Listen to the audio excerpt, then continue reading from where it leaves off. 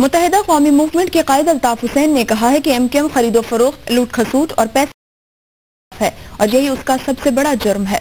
उन्होंने ये बात M Q M international secretariat London में एक इजलास से खिताब करते हुए कही। अल्ताफ हुसैन का कहना था कि वो सिर्फ़ जबान से इनकलाब की बातें नहीं करते, बल्कि मुल्क में गरीब मतवसत तबके के इनकलाब के लिए अमलन जदोजहद कर रहे हैं। एम क्यू एम किसी एक खानदान की नहीं, अवाम की जमात है। अवाम ने समझ लिया है कि मुल्क में अगर कोई जमात तब्दीली ला सकती है तो वो सिर्फ़ एम क्यू एम है।